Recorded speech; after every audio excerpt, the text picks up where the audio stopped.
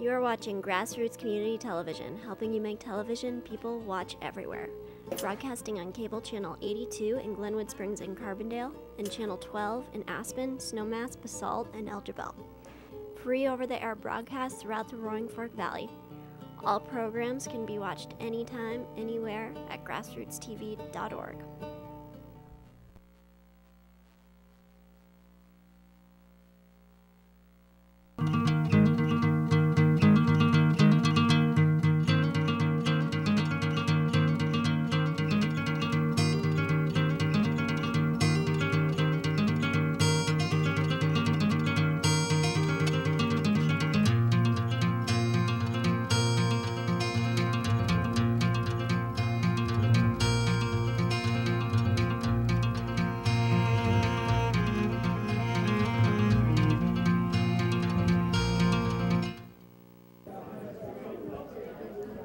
Good evening. Welcome to Naturalist Nights. Thanks, thanks all for coming tonight. Uh, my name is Daniel Grant. I'm a naturalist here at ACES. Um, and and uh, the goal of Naturalist Nights is to foster dialogue and share knowledge about the natural world among a wide variety of community members. And based on the turnout tonight, it really, really seems like we're just doing that. Before I introduce tonight's speaker, uh, I have a couple of acknowledgments and announcements. Thank you to Grassroots TV for broadcasting tonight's talk and to Two Leaves in a Bud for providing the tea that we're all enjoying. Looking ahead in next week's Naturalist Night, we'll be showing a documentary entitled Green Fire, Aldo Leopold, and Land Ethic for Our Time at ACES on Thursday, the 26th of January at 7.30 p.m. Uh, feel free to check the brochure or the website for all upcoming Naturalist Nights. And um, as a quick aside, if you didn't get a chance to uh, sign your name and email on the uh, forms outside, you'll get a chance after the talk uh, just to get um, feedback for future naturalist nights. As a former environmental studies major myself, I personally feel honored to introduce tonight's speaker. Having read his work and seen how his ideas have shaped conservation over the, uh, over the past few decades. Currently a resident of Crested Butte, he's a, he's a professor emeritus of history and environmental studies and a founder of the environmental studies department at the University of California, Santa Barbara. He's been at the forefront of teaching and writing about environmental history and ethics, and his ideas about the relationship between humans and nature have transformed environmental philosophy and public awareness towards wilderness and conservation. In addition to his academic career, he's an avid river runner, having guided or led over 60 descents of the Colorado River through the Grand Canyon and a first descent of the Tuolumne River in California. His life and work, which blends scholarship, observation, and insight, with recreation, adventure, and discovery, I think beautifully informs the work that ACES does. Please join me in welcoming Rod Nash. Thank you, Dan. Thank you so much. Do I have to use that? No, you, you don't have to use that. Okay. Here are these. Thank you, Dan. I don't think I'm going to need this um, for the television. For the television. So I have to actually hold. Don't need it. Don't need it. Okay. I'm so uh, happy to be here in this uh, tradition of Naturalist Nights. You have some wonderful programs coming up. Uh, Peter McBride speaking, Ian Billick is speaking from our side of the mountains. We call that the poor side of the mountains over there in Crested Butte. And uh, uh, Ian's coming to, to talk uh, later on, and I'm so impressed with this. Um, organization, um, Wilderness, the Wilderness Workshop, ACES. I think I spoke maybe 25 years ago at the very beginning of ACES, as I recall, somewhere down here. As I walked through the snowy road thinking of the path not taken, I thought, you know, I've been here before. And it was fun to be back. Thank you for the kind words about um, uh, the book. You know, Wilderness in the American Mind is, um, I think, a good book, but it's also a very lucky book.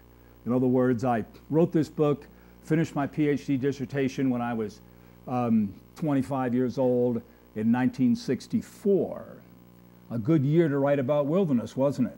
Huh? The year of the Wilderness Act, the year when wild and scenic rivers were being discussed, when Grand Canyon dams were being fought, when people were becoming very interested in environmentalism. And so uh, the book was lucky. Uh, people have said it was a book that changed the world but I say the world was ready to be changed. And uh, the book may have helped a little bit. I also like um, to reflect on um, the fact that uh, it's nice to talk about wilderness in a part of the country that has some wilderness. I sometimes talk in Dallas, I sometimes talk in Cincinnati, you know. Um, it's nice to be here.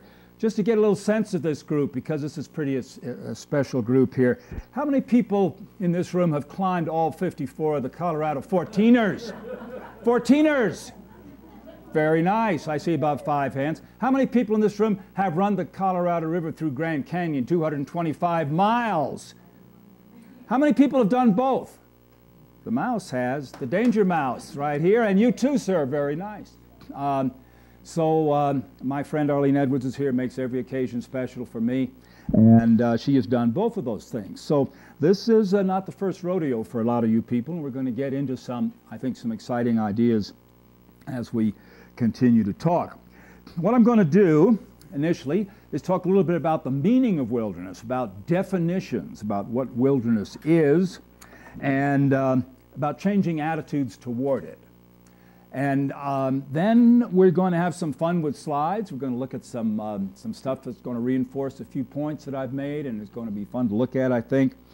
And then we're going to get serious, look a bit at the future, and um, talk about the role of wilderness in the future of this planet and our species.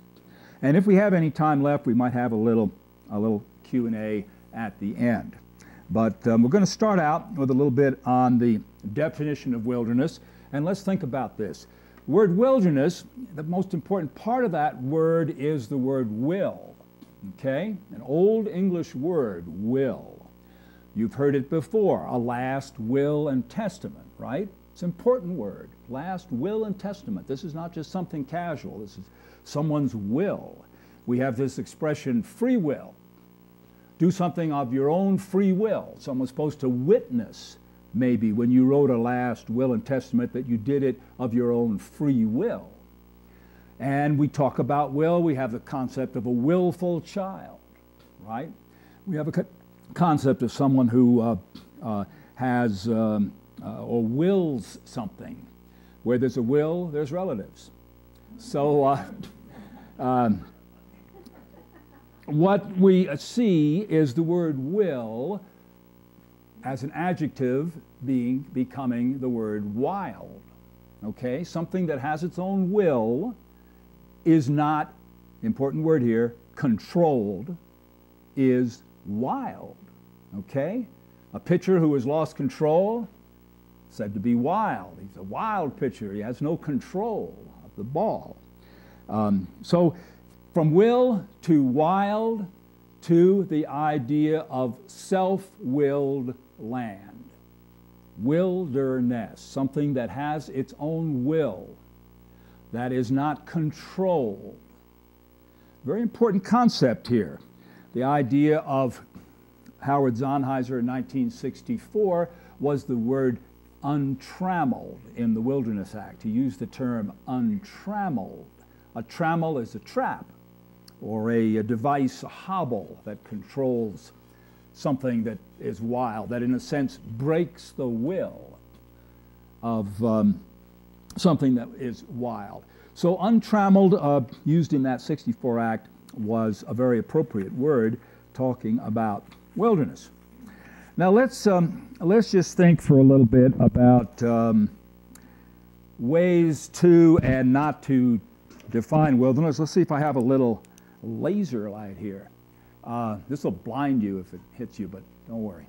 Uh, this is the way a lot of people think about wilderness, and this is the way we kind of look at it politically and we look at it on a map right? We're either in a wilderness, Maroon Bells snowmass, or we're not in a wilderness. We're in some land that is civilized or C for controlled, okay?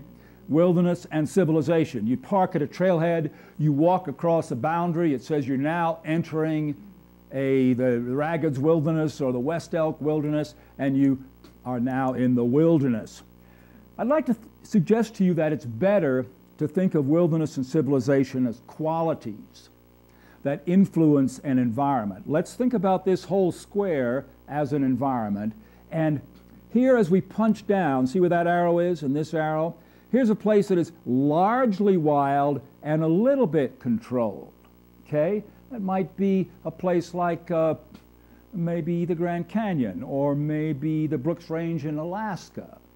And then we move this way and we begin to pick up land that is maybe about half wild and half controlled. There's some, there's some controlling influences, some evidence of civilization in it, but also some wildness. And we finally get over here to a place, is there any place like this in the world where there's no wildness? Completely gone, not even a weed in a crack of the sidewalk. You know? That would be kind of a sad place, I think. But is there any place like this where it's totally wild? I'm told there's radioactivity on every square inch of the planet put there by nuclear bomb tests. So this allows you to plug in subjectively as you see it. For someone who has a lot of experience in wilderness, you might be placed into an environment like, say, right here, and you might say, well, you know, for me, there's really a lot of control. There are trail signs. I've seen a lot of people today. Um, and you might say, this isn't wilderness to me. Somebody else might come out of New Jersey and say, wow, you know, I just walked in from uh, Clark's Market and this is wilderness. We just walked through the wilderness. And you know what? For them, it is wilderness because, my friends, wilderness is a state of mind. Okay? Big idea I want you to take away. Wilderness is a state of mind. It doesn't really exist. It doesn't exist like a mountain or a canyon, right? There's a river down there. We could all go down there and stand and say, What's that? And we'd say, It's a river. Okay? And we'd ask four or five people, It's a river, it's a river. What's that? It's a mountain. It's Highlands Bowl. That's a mountain. Okay? But if you ask somebody what wilderness is, like kind of asking them what happiness is, another ness word, it's going to vary, isn't it? Person to person. One's person's wilderness might be another's roadside picnic area. So that subjectivity allows you to plug in here at the top and move that arrow along. And this diagram also suggests the importance of wilderness management in defining wilderness because the way we access wilderness and the way we manage it, if you have to line up in a lottery to get into a wilderness, takes away a little bit about that wildness, doesn't it? So there are a lot of management concerns that bear on this subject, and I'd like you to take this diagram away from you, uh, away from here tonight, and uh, think a little bit about it. By the way, there was a handout out there. You have it. Um, professors always have handouts, so if you didn't get one of these one-page op-eds, um, somebody might find one in the back to hand out to you. Okay, um, I was in Malaysia talking about wilderness, asking people the meaning of wilderness. I asked a fourth world guy, a guy who didn't have any clothes on except a penis sheath. And uh, he definitely wasn't a, a, member of the first three worlds. He was a fourth worlder. And through an interpreter, I said, What's your word for wilderness? And he said, I don't know what. What, you know, I don't think I have a word for wilderness. And, and so we went back and forth with this guy. And um, hunter and gatherer, fourth world. And finally, we said, uh, I said through the interpreter, ask the man um, what, how he would say, I am lost in the jungle. And the reply came back, uh, tell the, tell the white guy, I don't get lost in the jungle. so, you know, he didn't have a word for it. He didn't know wilderness. And that brings me to my next big point that civilization created wilderness. Okay? As a state of mind, as a perceived reality. Not a, not a mountain, not a river. What's wilderness? It's in your mind. It's, some, it's a quality, as the ness part of it suggests, like happiness, a word like that. It's a quality. So civilization creates wilderness by drawing lines on the map and lines around domesticated species. 100,000 years ago, dogs domesticated. Um, maybe uh, 10,000 years ago, calves, herding begins, agriculture begins, and suddenly there's a reason, are you following me here, to think about the wild and the civilized, to think about what we control and what is wild. and to think about, important concept here, breaking the will of something. Remember the word will? We started out with that, important will, the root of the word wilderness. Breaking the will. When you break a horse, whether you do it violently in the old school or like Robert Redford did, uh, whispering to it, uh, you, are, you are putting the horse under your control, right? Even, even a fine horsewoman like Shelley and a fine horseman like Al. You know, I don't know if that horse wants to be ridden. Why does that horse want to be ridden? You've broken the will of the horse. No, the horse wants it. The horse loves me. Okay, that's all right too. But breaking, breaking a will, breaking a wild animal means breaking will. And so that is what began to happen about 10,000 years ago, and that's when it became of possible to think about wilderness and civilization.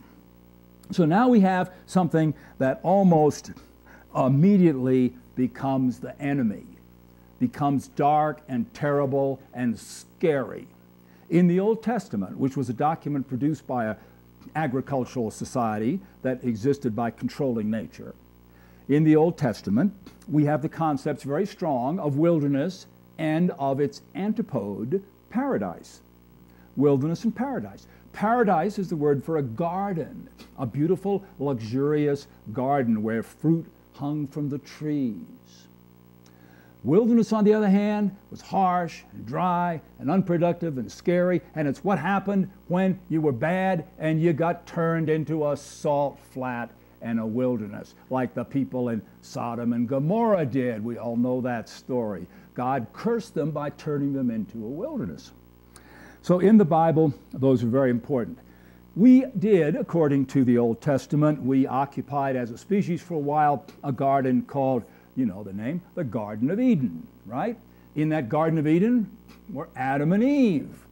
And life was good for a while, I'm, I believe. But then Adam and Eve sinned and they were driven out of the garden into what? The wilderness right? And you can see it in Thomas Cole's paintings. The surging storm clouds, the towering mountain peaks look like the top of Snowmass this afternoon. Big old dark clouds coming in. God said, Go out. You guys have blown it. Get out of here. You're going to be sent into the wilderness along with a scapegoat who took all the sins of the community and was driven out into the wilderness by the early herding societies. And so, wilderness had pretty uh, strong biases against it in the Old Testament. When um, the New World was discovered and settled, wilderness suddenly received a kind of a jolt again in our thinking because suddenly we had wild country. These were Europeans who really hadn't had much wilderness for a long time around them, hadn't thought too much about it, had pretty well controlled things, um, and then we come to the New World and we have not only wild country, but we have wild people. They called them Indians, right? Uh, that's always a strange term for me. Columbus was lost, thought he was in India, you know? Good thing he wasn't looking for Turkey. So uh, the, um, uh, the savages, so called, the savages were there. And you might say, well, they were already people here, so it wasn't a wilderness, but in the minds of the colonists, uh, the savages contributed and exacerbated, increased the wildness of the place.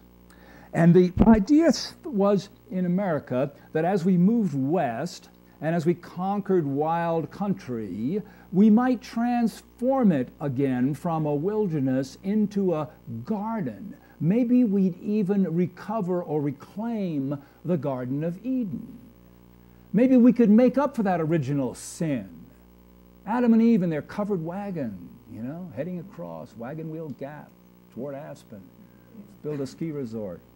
Um, the word reclaim is really interesting. We use it a lot. You've heard of the Bureau of Reclamation, right? Bureau of Reclamation. What do they do? They dam rivers, they irrigate land, they build a garden in a wilderness. Think about that.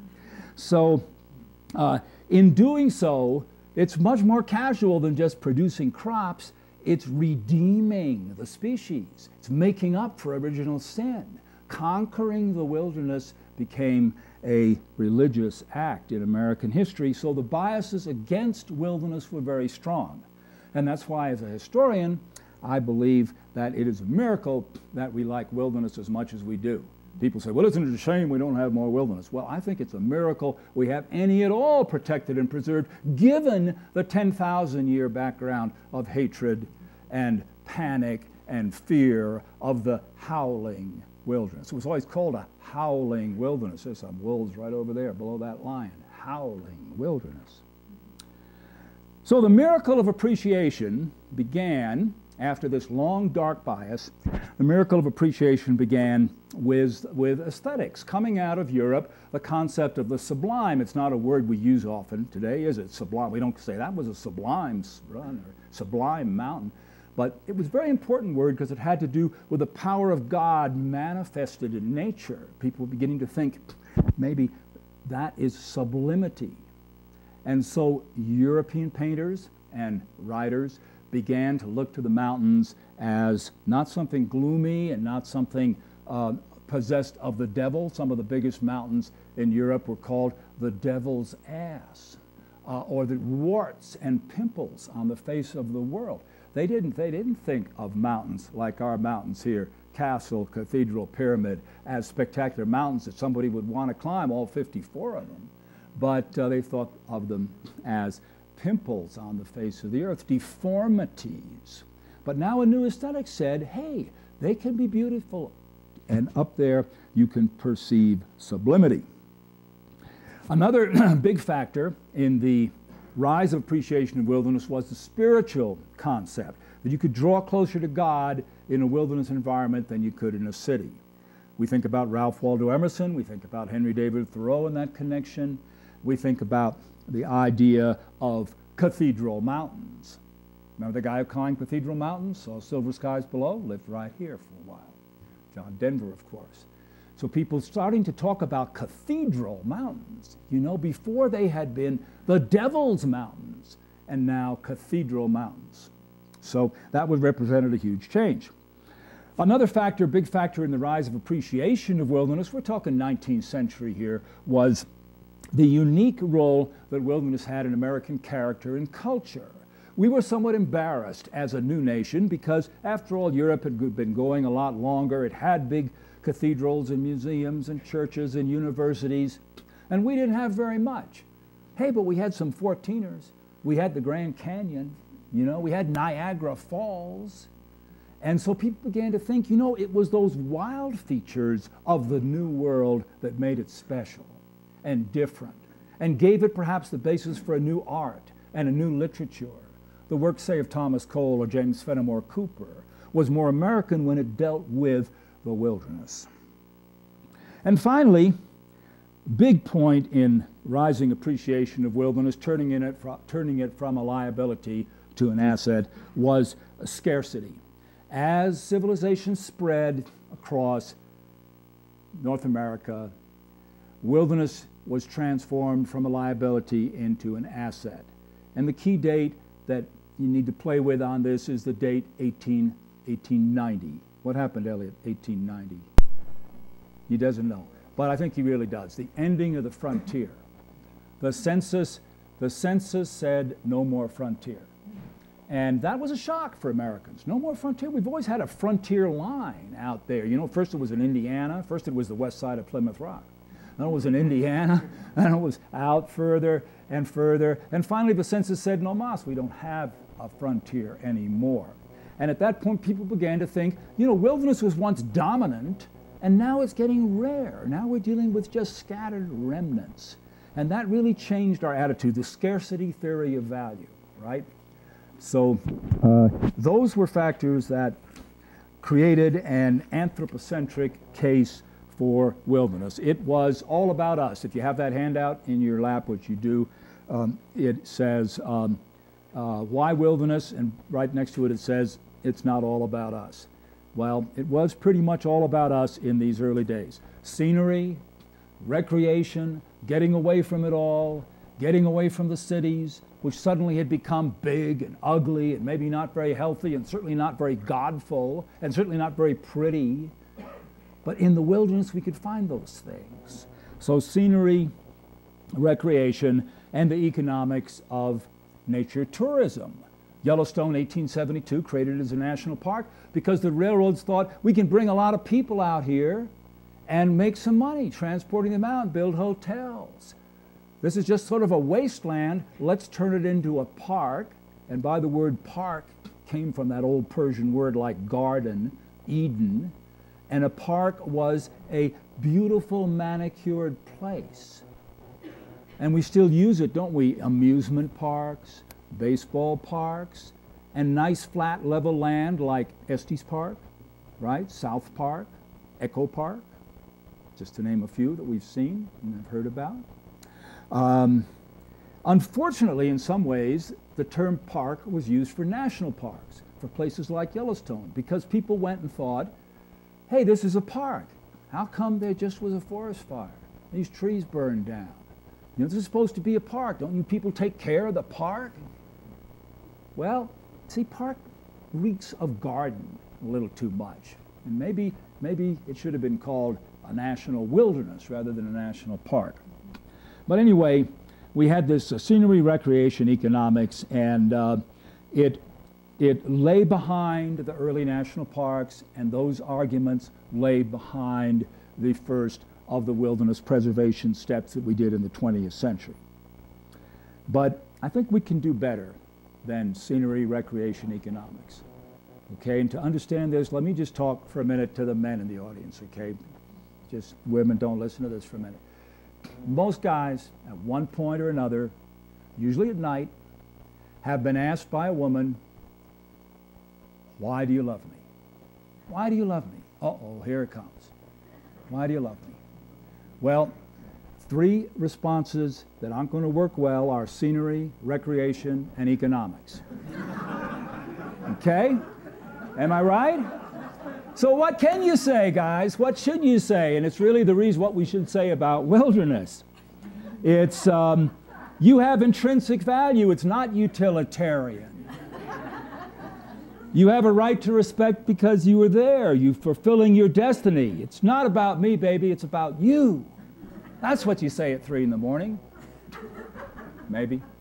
Um, anyway, it's about you blossoming and flourishing and having a, um, uh, a role and being a miracle in the ecosystem. That's what you tell her. She's a miracle in the ecosystem. so, so we can move on. That's what I tell you, isn't it? And uh, I can, you can move on from this anthropocentric scenery, recreation, economic, it's all about me. We can move on to it's all about you and it's all about sharing the planet.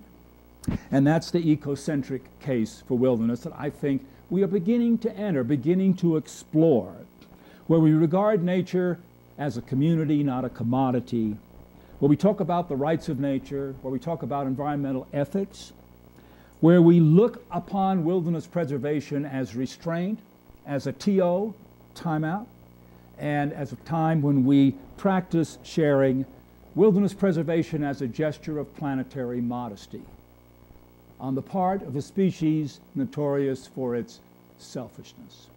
We've been pretty selfish, you know, as a species. What species would resent our disappearance?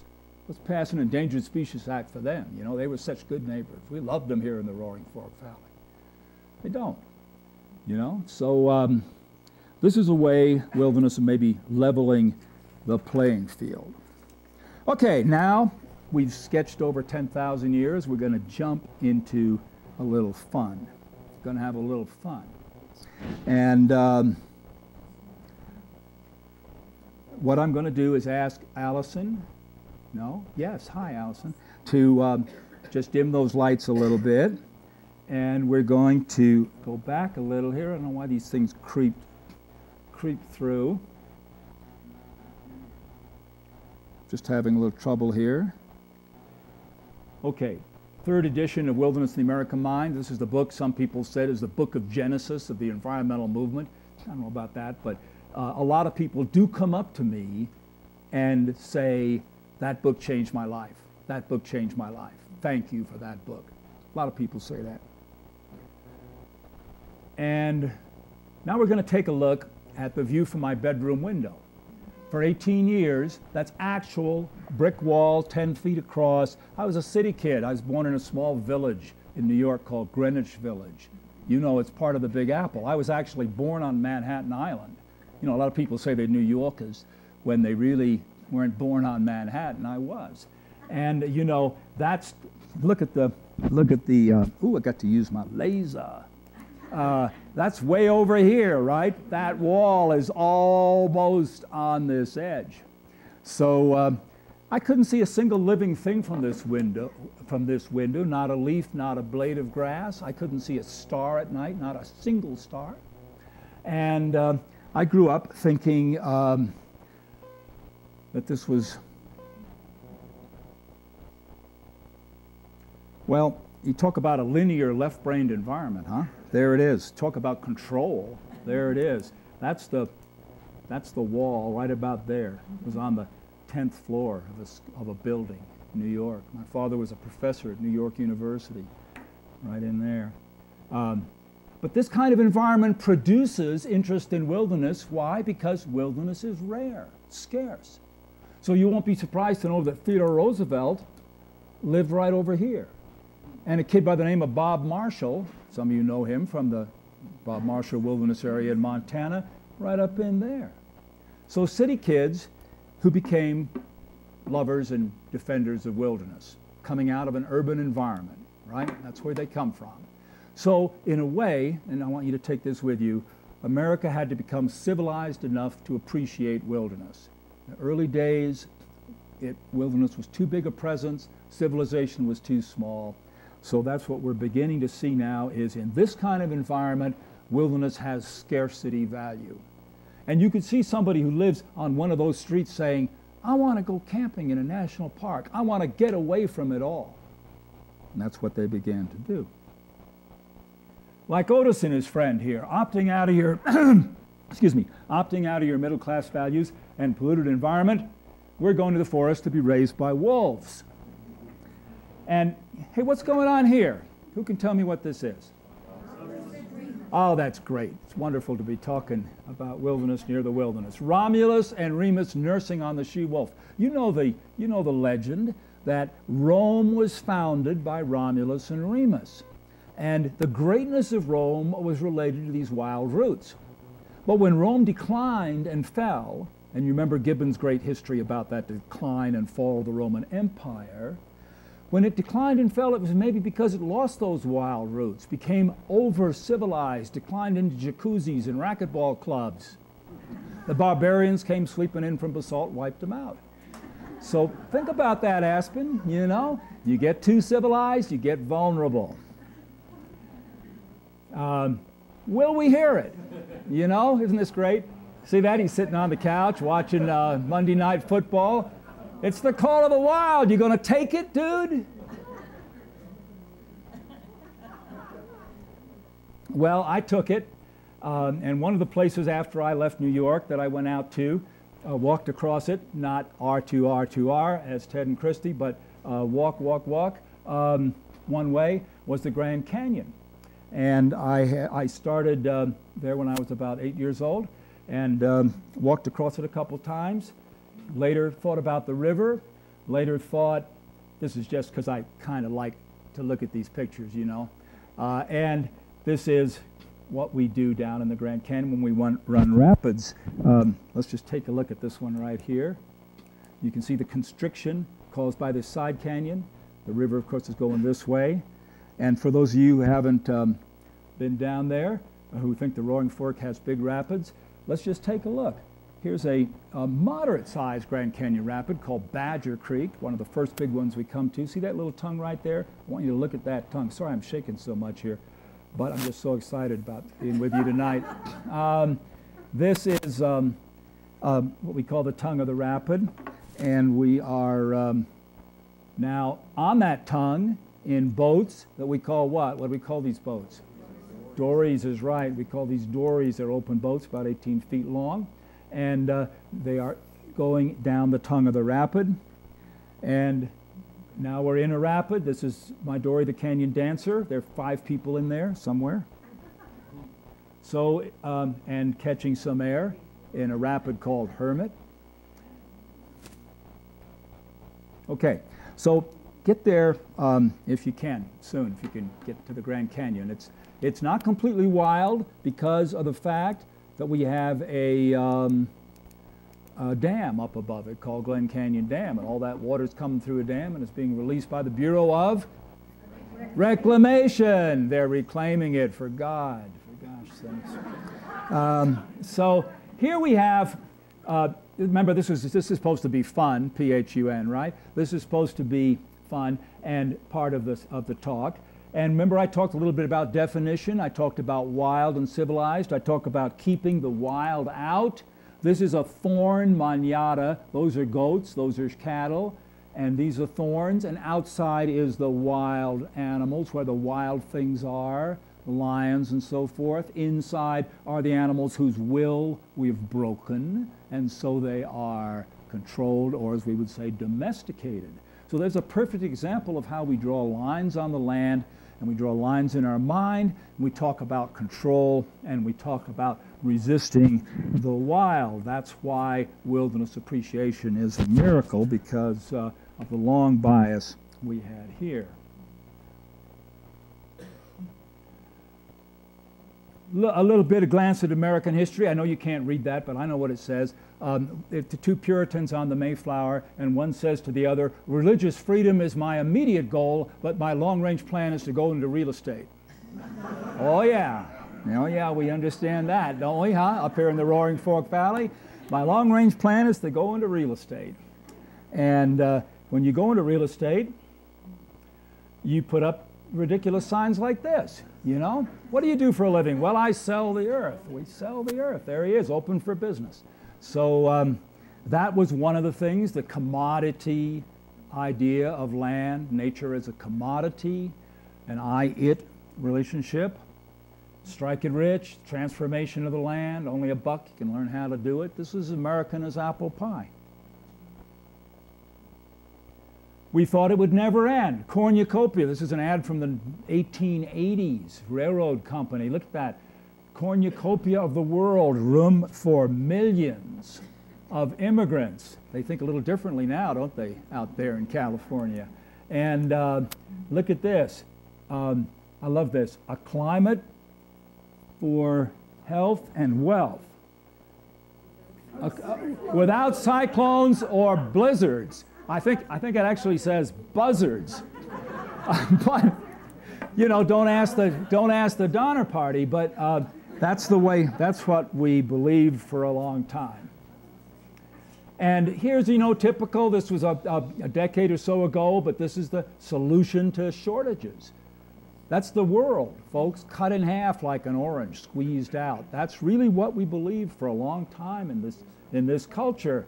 And there's uh, Arlene's Peak, uh, the Matterhorn. Um, you know, we can move the mountain. Just tell us where you want it moved. Um, here's a picture that says it all. This is a great picture. Am I running out of time? Nah. Uh, the, um, this is American Progress, 1869, an important year because in that year the transcontinental railroads were completed. And when they were completed at Promontory Point, Utah, anybody tell me the date? Who knows the date of the completion, the driving of the Golden Spike at Promontory Point, Utah? I'll be impressed if anybody knows that. Take a shot. You only got 365. Probably in the summer. Good, good, good thought, but uh, it was actually May 10th. and, and across that, across that, two weeks later came one of my heroes, John Wesley Powell, with his boats to run the first descent of the Colorado River through Grand Canyon. First descent if you discount James White, who probably did it two years before. Anyway, there come the railroads right there, see them, across the plains. Here's Miss America, very scantily clothed for 1869, but holding the Bible. That redeems her a little. And, and, the, and the telegraph wire, see, that she's got stringing out behind her. Here are the surging uh, storm clouds, the snow capped peaks of the Elk Mountains. There's Aspen, okay? And into the mountains go the Indians, go the wolves. Here's the miners. There are the covered wagon people. And here's the stagecoach. And this is light and this is dark. And this is the American Manichaean morality play of westward expansion. that we are redeeming the garden, that we are going from um, darkness and bringing the light into the darkness. And look over here. See those boats, and there's a river? That's Manhattan Island. And you can very, up there, very faintly see the Brooklyn Bridge, which was being completed at this time. And if you look really closely right there, you can see the wall that I grew up staring at. so, so there, and remember the title of this was called American Progress. There was no doubt in our minds in 1869 that this was progress. Now there's a lot more doubt. Now there's a lot more concern about over civilization, about maybe we should go a little slower, about maybe there should be a little more balance in the interest of sustainability. Let's talk about some of the good guys for a minute. 19th century, um, July 4th, you said, you said the date, 1845, Thoreau goes to Walden Pond. He chooses July 4th, same reason Arlene and I choose it, to leave town, avoid the fireworks and the parade, and climb a peak. And we do that because we're not so sure we want to celebrate everything about America. And Thoreau wasn't either. He didn't like a lot of things about America in 1845, including slavery, including materialism, including our treatment of the Indians. So he went to Walden Pond to live deliberately for a couple years and wrote Walden. Of course, he was totally ignored. People paid no attention to him in 1845 or in 1851 when he wrote his great essay, Walking, and in that said, In wildness is the preservation of the world. It took a long time for us to realize what that was all about. But Thoreau was a prophet, and in time, his ideas would be more widely disseminated. Who's this? John Muir is right. Nice. John Muir, pretty cute guy, huh? And uh, John Muir, um, uh, going to the University of Wisconsin for a while, heading heading west in 1868 to San Francisco, going into the Sierra, and in the next two or three decades becoming one of the great publicizers of wilderness. 1892, two years after the ending of the frontier, Muir founds, becomes first president of the Sierra Club. And uh, that, or, that organization goes on to uh, transform attitudes and behavior about wilderness. There's Muir as an older man uh, when he was president of the Sierra Club. This really says it all, what, what I've been talking about. Remember, I talked about scarcity theory of value? Look at that. That's Virgin Forest, 1620. Let's just take a little look down time here. 1850, 1926. You know it's getting even thinner. So um, we are talking Here's the one picture that says a thousand words. We are talking about a once wild continent perceived as wild, now just remnants. That's the scarcity theory of value. That's why our wilderness policies, like the Wilderness Act of 1964, are so special. Who's that? Theodore Roosevelt is right. What a guy. Good for you. At Harvard, when he was captain of the wrestling team went on to become a great, a great um, exponent of wilderness values. Here we see him with John Muir standing on Glacier Point. And Roosevelt, with his personification of the strenuous life, with his message that perhaps America had become over civilized and needed the fundamental frontier virtues, needed contact with the wild, needed to be raised by wolves. Come on, those people paying attention here. There's going to be a midterm. Um,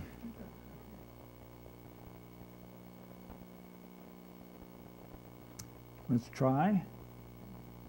Dan, here we go. Roosevelt um, pouring tonic, hair growing tonic on the balding pate of Uncle Sam. This was, of course, the conservation idea save the forest, Gifford Pinchot.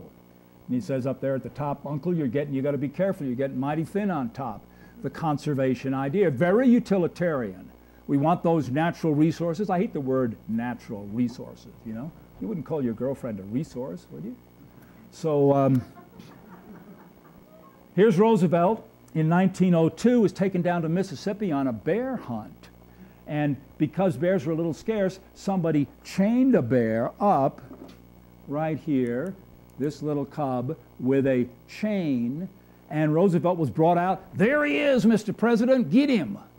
And Roosevelt raised his gun, and then he lowered it, and he said, Something's wrong here, this isn't right. And he walked up and he said, Release that bear. And here the guy is, Release the bear. Roosevelt says, No, I'm not going to do that because I'm a sportsman and I have a different attitude toward animals, and I am a believer in national parks and national forests. And there was an enterprising artist around at the time who um, sketched this bear cub and Roosevelt, and that, of course, became, you see where I'm going with this, the teddy bear. The toy was made by a Brooklyn company based on this story, which was a true story, and the picture of the bear, and that was the bear, the teddy bear that almost all of us have had some contact with, Theodore Roosevelt's bear, the teddy bear. Another little sideline is you can see the chain is, is around the neck of the bear. There was also, you see it says here, drawing the line in Mississippi.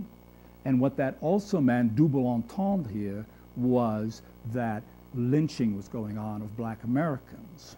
And so this is a black creature, the noose around its neck. Roosevelt also opposed that. So this is an interesting cartoon that expresses a lot of historical ideas.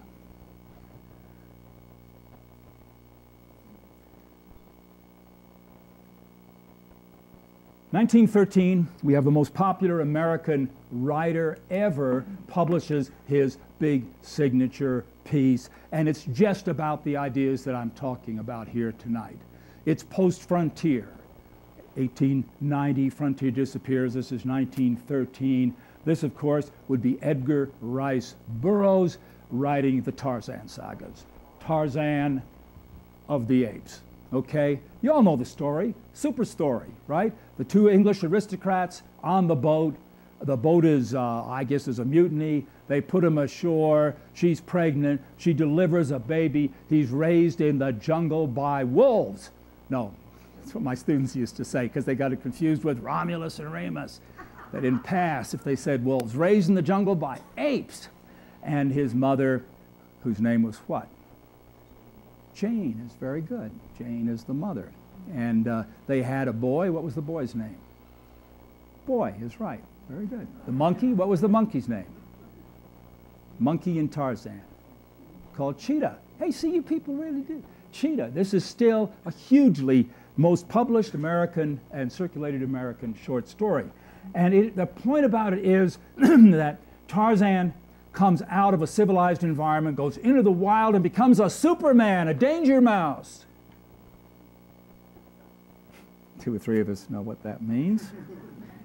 Here's John Muir kneeling in the grass, uh, talking to people in the Sierra Club who've gone out of the cities and are here to hike. And look at them, they've all been told to bring their hats. There they're walking. this looks like Dan Grant taking a tour out, doesn't it? Look, here are the walking staffs. And, you know, some of these people are wonderful. Um, let's have a little close up of, I'm really frustrated by this, um, but I went too far. Here are two ladies who turned out for the tour, Dan's tour today. This is one of the ACES tours. And you see they have their little bags, they have their cravats, very little, nice little ascots, would you call them? And look at this the lady has her spoon and fork tucked in her boot. Look closely. That's her spoon and fork. She's going out on a camping trip. What, where are you going to carry them? A good idea, put them in your boot. Maybe not so good. But that's where she is. They also have on their belt a diabolical thing called a Sierra Club cup. Awful piece of equipment. Burns your mouth, tippy, um, the whole deal. But there's the Sierra Club cup. So this was 1908. This was about 1908 um, the guy who took the first automobile to Glacier Point in Yosemite. Americans were going outdoors. They were getting away from it all. Attitudes were changing, but sometimes in very strange ways. There's Half Dome right there. The guy is six inches from a 3,000 foot drop. See, he's got a piece of wood under his wheel, like that. The American flag. And look at him, beatific, staring out into space. But I've always liked his girlfriend here, hands on her hips. You know, what a doofus. Look at him. So, uh, I thought you might like to see the first RV. You see a few of them rolling into the roaring fork. There's the first RV. That's a sleeping bag. That's why people didn't backpack much back then. but you know, this is all all fixed up uh, uh, as a camping vehicle. Little sticker on the back: if it's rocking, don't bother knocking. The whole. Um, you're not taping this, are you? Um, national parks, who should have been leading the way to a, a more sensitive attitude toward wild animals and wilderness, in fact, seem to go just the other direction. They built a counter out here for the hotel to dump garbage. This was in Yellowstone. And look, bleachers for the people to sit. This is called nature tourism circa 1920, not ACES circa 2012. And there's the final four down there. We're about to see them in the, this coming Sunday. Uh, uh, scrapping it out over tuna fish cans, and the people uh, witnessing this show. And uh, another, another big sweepstakes question, if anybody gets this, uh, I'll be very impressed. A, form, a, a man sitting in the front row here with a gun over his lap to protect the tourists from the bears later became president of the United States. Who was that man? Gerald Ford is right. He had a little connection with Aspen, too, didn't he? Gerald Ford. Thank you very much for that. Uh, I owe you a margarita. Um, and so, you know, people did crazy things with bears back then. Um, and now it's different, right? Funny, isn't it? Huh? They got busted. See, he took off his bear costume. Do not feed the bears. They had their picnic basket. Give him that sandwich, you're busted. So, anyway, huge transformation in attitude toward wilderness. Now you can go out there and fall in love and toast your relationship with a Sierra Club cup.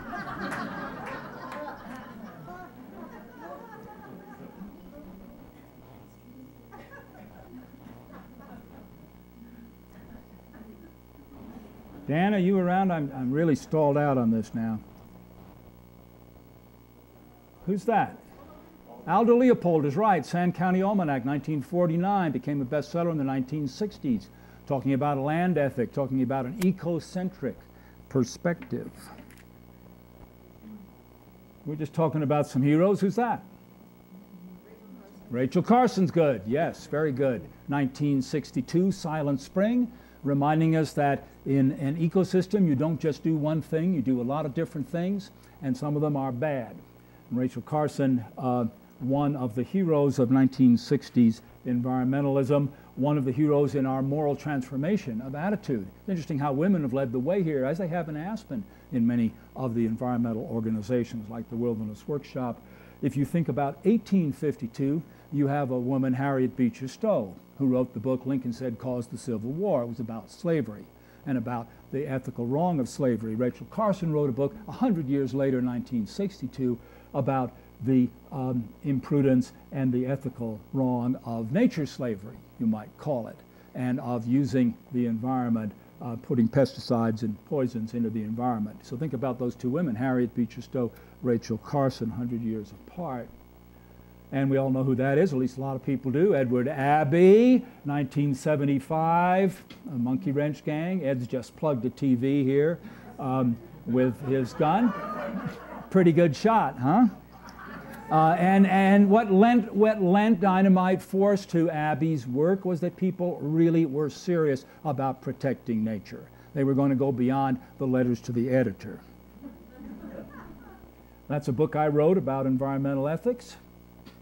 And that stuff and that stuff, but we're going to move ahead a little bit to uh, Portland, Oregon, Mount Hood. The light's growing up. It's getting harder to find a place to be raised by wolves and it's getting harder to find a place for wolves to be raised by wolves, even though they're starting to spread a little bit through Oregon down into California just last week. OR7 made it to California, male looking for a mate. He's not going to have much luck, but uh, uh, at least he's trying.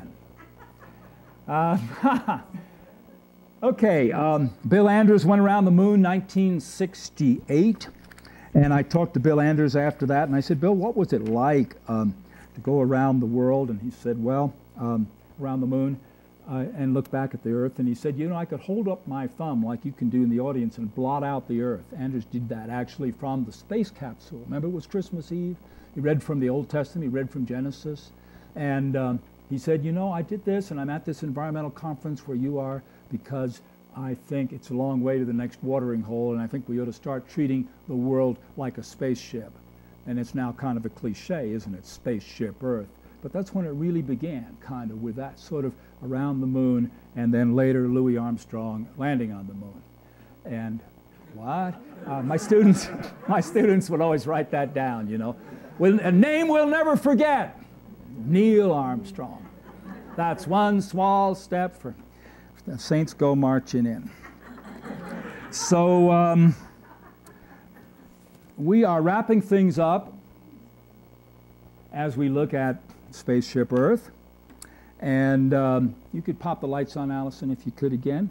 We are wrapping things up, and I'm going to suggest a few serious ideas as we conclude tonight, and that is that um, I think we are at a crossroads in the history of evolution on this planet. I think we're kind of at a crossroads between greed and growth and exploitation and collapse on the one side, and humility and restraint, diversity, community, sustainability on the other. And with great power comes great responsibility. With great intelligence comes great responsibility. We have been gifted as a species. We are indeed the sapient apes. We aren't acting very wisely. It seems to me we aren't exercising that power with moral control. My students a few years ago wrote a personals ad, you know, kind of like for eharmony.com. This was an eharmony.com for the universe. And it went like this temperate but endangered planet, enjoys weather, photosynthesis, continental drift, glaciation, seeks caring long term relationship with intelligent life form. Think of that.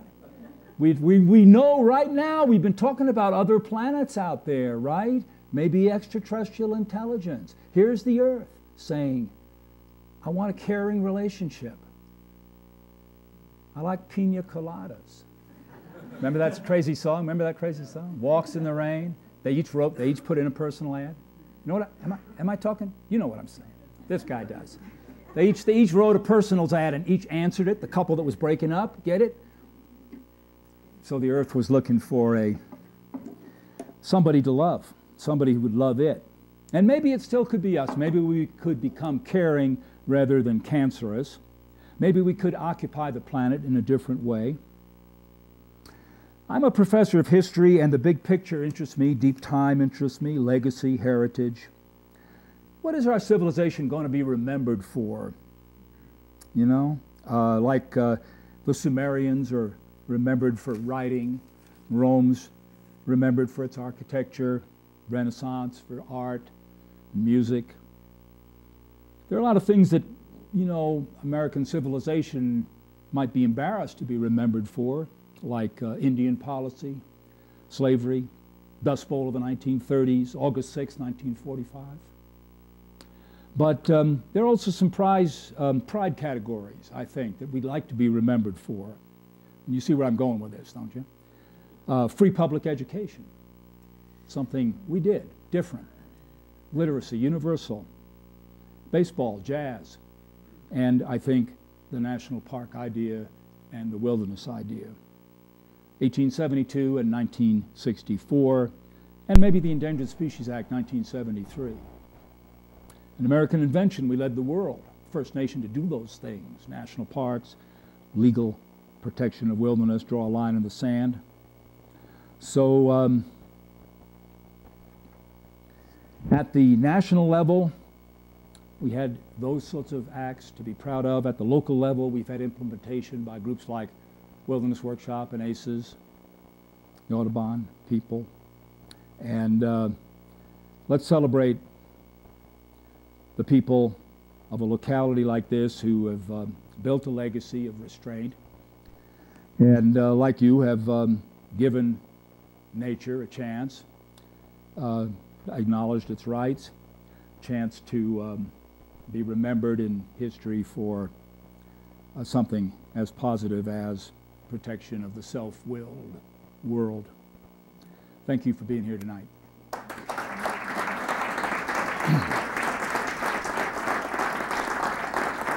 hey, I want you to look. It's exactly, exactly 8.30 because people say professors are long-winded, but you know what? If you've ever been to college, you know professors aren't long winded because the buzzer goes off, the period's over, it's an hour, it's 50 minutes, it's 75 minutes, meh, the students are out. So you got to finish on time. God bless. Thank you.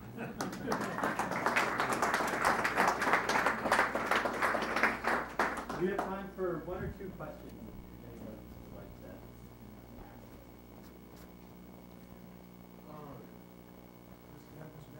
Yes, sir. Yes, sir. Reverend's okay.